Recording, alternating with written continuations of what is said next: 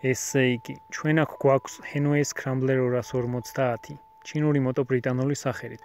გაგიკვირდებათ და ეს მოტო არის Scrambler-ის ტიპის მოტო 250 კუბიანი ზრავით, 4 ტაქტიანი.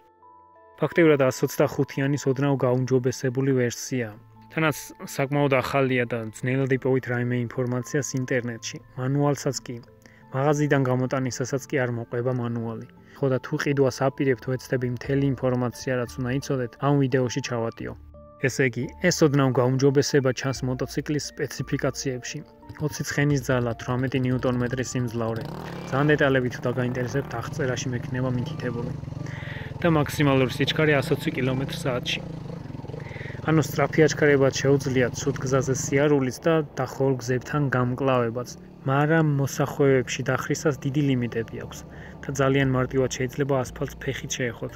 ამიტომ მაღალი სიჩქარით თუ შევარდებით ჭიდრო მოსახვევში, შეიძლება დახრა არ გეყოთ და ვერ ჩაედიოთ. მოტო წავს 60 ლიტრს აწვავს 100 კილომეტრზე და ოფიციალურად აქვს 13 ליტრიანი ბაკი. მაგრამ თუ გატესტავთ აღმოაჩენთ რომ მაქსიმუმ 12 ლიტრა ჩადის. რეკომენდირებული საწვავი 90 ოქტანობა და ზევითაა. ანუ ძვირიანი საწვავი. ევრო რეგულარი პრემიუმ სუპერი. მაგრამ რა თქმა უნდა ეს უბრალოდ რეკომენდაციაა და თქვენ რაც გინდათ ის შეგიძლიათ ჩაასხათ. და სავსე ბაკით გაგატარებთ დაახლოებით 300 კილომეტრს. ამ საწვავის ბაკს ესეთი ცუდი რაღაც აქვს, შეიძლება ამ კონკრეტული მოტოს პრობლემაა, მაგრამ მაინც. საწვავის ხუფი არ იხურება ჰერმეტულად. ანუ თუ გადაავსებთ ბაკს ან ბაიკს წააქცევთ, საწვავი გაჟონავს. იგამიგია რომ ზოგ ბაიკზე ეს ნორმალურია, მაგრამ წარმოიდგინე ასფალტზე წაქცევისას ხახუნი რომ აპერწკლების გაყრას დაიწყებს და ეს ბენზინს გაჟონავს ალდები მოტოსთან ერთად. ეს მოტოციკლი გათვლილია დამწყებ ბაიკერებზე. ზომით პატარა, შედარებით პატარა ზომის ბაიკერსაც შეუძლია ორივე ფეხი ძირს დადოს. ყველაზე დიდი პლუსი არის ფასი. 6200 ლარიხის ახალი, მაგრამ გარანტია ფაქტიურად არ აქვს. ერთი თვე აქვს და ერთ თვეში კიდევ ვერაფერს აღმოუჩენ მაღაზიიდან გაყვანისას თუ არ გაძვრა რამე. გვერდითი სადგომის ჩამოწევა მატორს აქრობს, რაც კარგია. სანამ ამის აკეცვა ჩვევაში გადავა მანამდე იმდენჯერ შეიძლება დაგრჩეს ჩამოწეული, რომ აი ხარისხიანად აილეწო. შალი წონა აქვს 114 კილოგრამი, ანუ საკმაოდ მსუბუქია და მარტივი აკეთიქით თრევა ან აყენება თუ წაგექცა. და რაც მთავარი არის ძალიან ესთეტური, თავისი რეტრო კლასიკური ოფროუდ შესახედაობით. ოფროუდის შესახედაობა ბუტაფორია არ არის. მართლა შეუძლია უგზოობასთან გამკლავებათან საკმაოდ კარგად.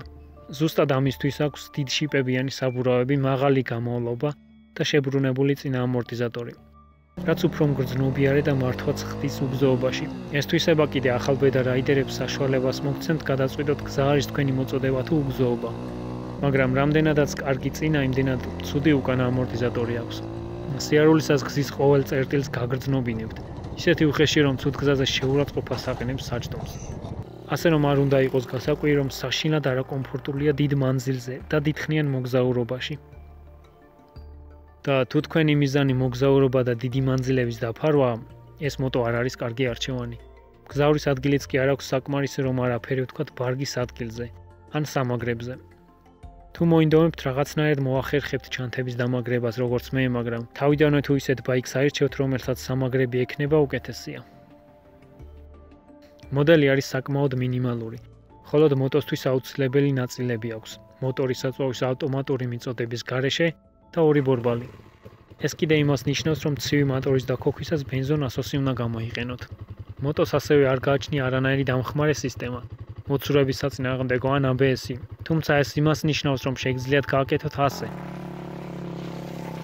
და ასე. დეშბორდის მინიმალური აქვს. აჩვენებს მხოლოდ ბრუნების რაოდენობას, სიჩქარეს, გამავლობას, საწვავის და ბატარეის დონეებს, სინათლის მანიშნებელს, რომელსაც საკმაოდ ძლიერი ნათება აქვს. წინა და უკანა LED განათება კიდე მუდმივად ჩართულია 12 ვოლტიანი 6 ამპერიანი ბატარეით. როდესაც ზამოკი ღია, მაშინაც კი როცა დაქოქილი არ არის. მოხვევის მანიშნებლები და ნეიტრალური სიჩქარე, რომელიც ზოგჯერ არასწორად ანთია, მაგრამ ეს ზოგადად მოტოების პრობლემაა და არა ამ მოდელის.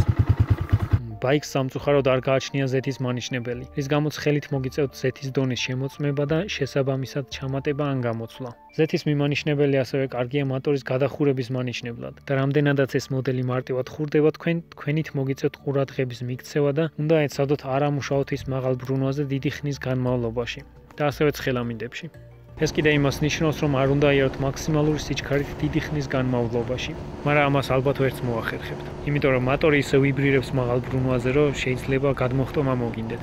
ყოველთვის უნდა არეგულიროთ გაზის ხრახნი მოტორის ტემპერატურის მიხედვით. ეს მოთავსებულია კარბურატორზე. მარცხნივ დატრიალებით ბრუნვის სიხშირე იკლებს. მარჯვნივ იმატებს. კომარეზე ბრუნვა უნდა იყოს 1200-1500. ანუ ორი ხაზი დაშპორტზე. ეს აუცილებელია იმისთვის, რომ მდგომარე მაღალი ბრუნვათა სიხშირე ხელს უწყობს მოტორის მარტივად გადახურებას და ხშირად გადახურება კიდე შეუქცევად ზიანს მიაყენებს მოტორს. ასე რომ თუ იეჭვებთ, რომ მოტორი გადახურებულია, ანუ იგრძნობთ დამწვრის სუნს მოტორიდან, ან სიჩქარის გადართვა ჭირს, ან გადართვისას ურტყავს, ან სიმძლავრეს კარგავს, უნდა გადააყენეთ მოტოციკლი ქათი შეცრავი და მოიცადეთ დაახლოებით 15 წუთი. რა თქმა უნდა, მზის ქვეშ ნუ გააჩერებთ. და ყოველთვის ჩაკეტეთ ხოლმე საჭირადგან. ძალიან მარტივია ვინმე მოახტეს და გაგორდეს თქვენი მოტოციკლეტიანად.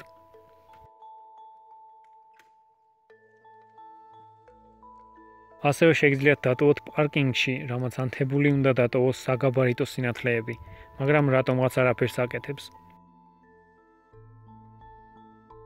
და ბოლოს, ზეთი შეცვალეთ ყოველ 300 კილომეტრზე პირველი 1500 კილომეტრის განმავლობაში.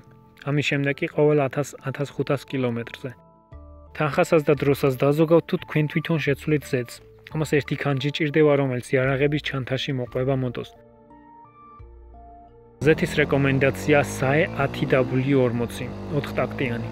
მოტორი იტევს ლიტრამდე ზეთს, ასე რომ შეცვლისას მთელი ლიტრა არ ჩააცხათ თავიდანვე. ჯერ 900 მლ ჩაასხით, შეამოწმეთ დონე და თუ დაჭირდა მერე ჩაამატეთ. უკეთესია გაწვალდე ვიდრე მოტორი ზედმეტ ზეთზე ამუშაო.